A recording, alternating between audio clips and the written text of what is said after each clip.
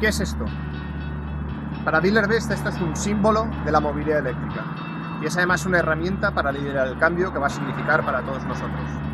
En el Congreso de Facon Autos explicaremos por qué el vehículo eléctrico es imparable, cuáles son sus barreras actuales y cómo las vamos a superar, qué es la movilidad eléctrica y cómo podemos generar oportunidades de negocio gracias a ella. Y finalmente vamos a explicaros también qué debemos tener en cuenta en nuestro concesionario para hacer que esta oportunidad se haga realidad. Nos vemos.